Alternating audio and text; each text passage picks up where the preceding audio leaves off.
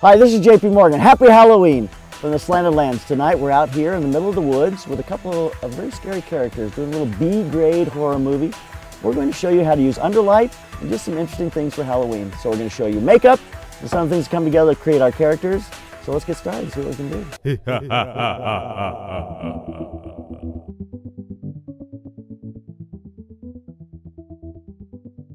This was a difficult shoot for many reasons.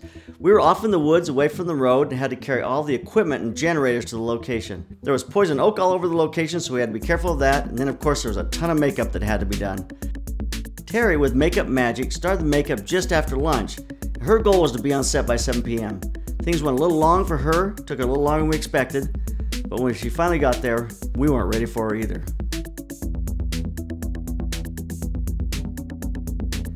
Teri did a fabulous job on the makeup. A single makeup artist with three characters like this is just epic. She did a great job. When you take three characters like this into the woods, this image feels like a vintage horror film. So let's break down the shot and see what we've got. I went up into a ravine next to my house that our neighbors own, got permission to shoot there. Then I picked the best location for the look of the shot, but not necessarily the best location for smoke. Okay, kill smoke, you guys. You know, we're up at the head of the ravine. The air is going to flow down the ravine. If I would have been at the bottom of the ravine, the smoke would have dissipated and flown right into me. It would have been perfect. As it was, we were at the top of the ravine and the smoke was very thick where we were at. It became very difficult for us to get the shot we wanted because the smoke was too thick. You really want thick smoke in the background and lighter as it comes towards you. What I really wanted was just this nice, even haze throughout the entire area. It was a large area. That was a difficult assignment, especially with the ravine where the air was flowing down.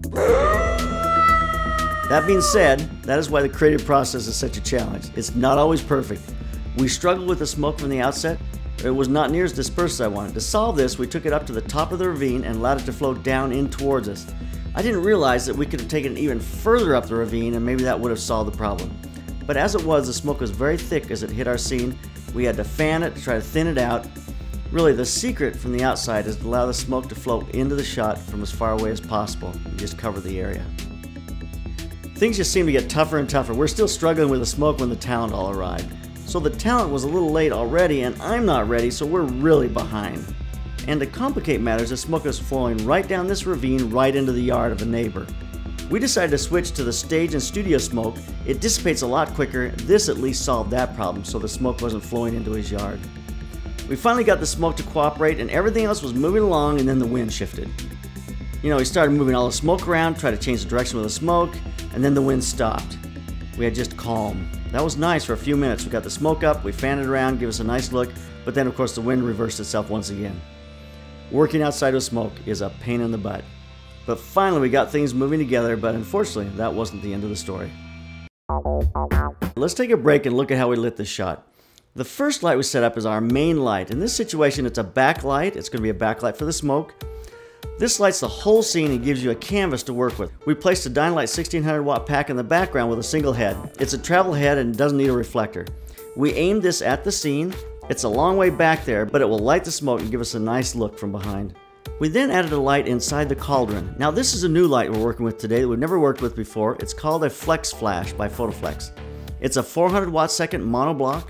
These are really reasonably priced and a great strobe unit. We worked this thing hard all night, gave us great consistent light, really turned out to be a great light.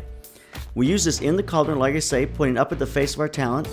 We put two layers of 3027 tough white diffusion on it to soften it out kind of glow up on the faces of our talent. We then added a second flex flash from camera left to light the smoke and give some light on the talent. In that same step, we added another Dynalite head from behind, camera left, in order to give us some light on the smoke in that area as well. We were working so fast and things were happening so quick that I didn't really get the lighting breakdown that I wanted, so those two are in the same shot.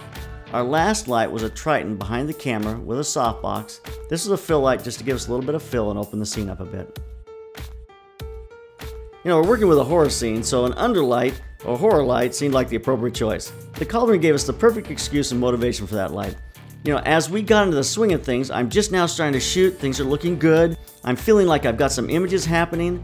I'm really starting to get it to where I'm thinking where it's time for us to break in and try to break things up and make it happen, and then I get a call from out on the road And it's Julian saying the neighbors just came over and they said if we don't stop right now, flashing the flashes, they're going to call the cops. At that point, I'm going, oh, I'm just getting going here. So I quickly shot a few more, and then Julian called again and said, he's going to call the cops. So I finally shut it down, and that truly did end our story that night. Uh, we had permission to be there. We had permission to be there till midnight. But at 10 o'clock, the neighbors freaked out on us, and we had to shut it down. So I didn't get all the images I wanted, but here are some of the final images. You know, I really do love shooting this type of fantasy imagery. I wish I would have had more time to explore some other scenes, some other options, but we got some great shots nonetheless. Taking the images the next day into Photoshop, I really wanted to give them a little better look, just play with them a little bit and see what we could do. I pushed the exposure up just a little bit, I opened up the shadows, then I moved the color balance to about 4150, which means I cooled it off just a little bit. Then I pushed the clarity just a little bit, about 9 points, to sharpen up the smoke and make it look more interesting. Last of all, when the images are processed, I added a gradient map where you can play with how much color. You can bleach it to almost black and white, or add a little bit of color, and I played with that to where it felt a little bleached out and gave us our final image. This was a crazy shoot. You know, I guess it's appropriate for Halloween. Have a happy and safe Halloween and keep those cameras rolling. Keep on clicking.